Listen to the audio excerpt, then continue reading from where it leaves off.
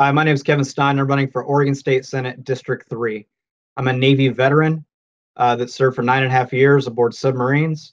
I was a Bernie delegate to the National Convention, and I'm a city councilor in Medford.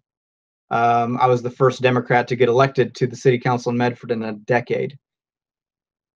This is a the seat I'm running for is a Democratic seat. It was held by the late Alan Bates, and now it's held by Alan DeBoer, a Republican a person that said he was going to do one thing and then got in office and did another.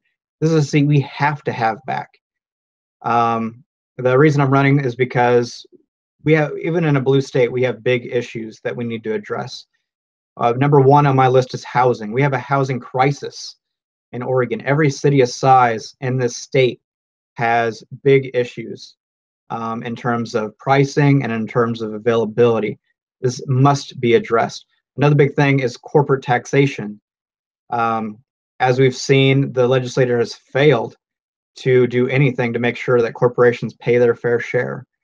And uh, as a veteran myself, I care deeply about veteran issues, uh, making sure that our returning veterans have the, the care that they need.